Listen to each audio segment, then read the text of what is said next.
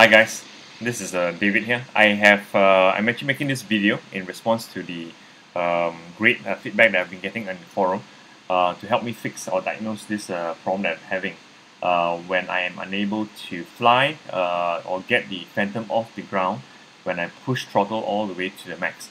So some of the um, response has been you know that it could possibly be due to transmission uh, the transmitter needing to be recalibrated. So I've actually done the recalibration uh, multiple times and I don't think it is an issue with uh, the calibration. But just to confirm, I've connected the uh, Phantom to uh, the assistant software and what you see now is basically you know um, uh, my stock transmitter with the thrust set to to the lowest which is actually down at the bottom when if I move it up you notice that it goes all the way to 100 and back down again.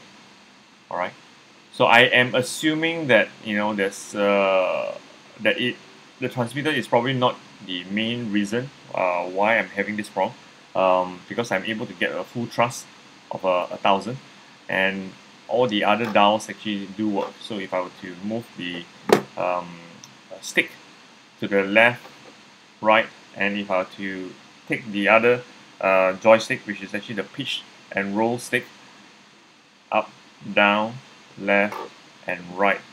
So again no issues there alright um, take note that I'm actually using the default configuration for the pitch roll yaw and vertical in, in the gain area.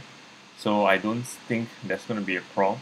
So I'm just going to very quickly move on to the uh, resetting of the IMU I know that some of you guys actually requested to see uh, whether I've actually done the IMU uh, calibration.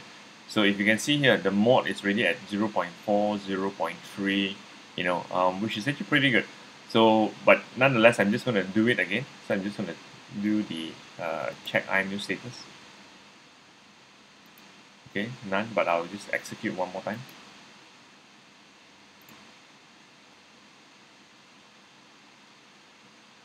So just a bit of feedback. I'm actually using, um, my or rather my Phantom has actually been upgraded to uh, the 4.0 firmware, and my NASA M, uh, uh, the assistant software is actually at 2.18. All right. So again, the controller at 4.0.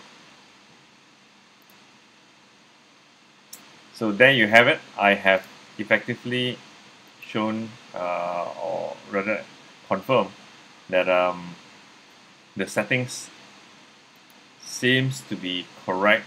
So if you have any other ideas, uh, just let me know. Thanks.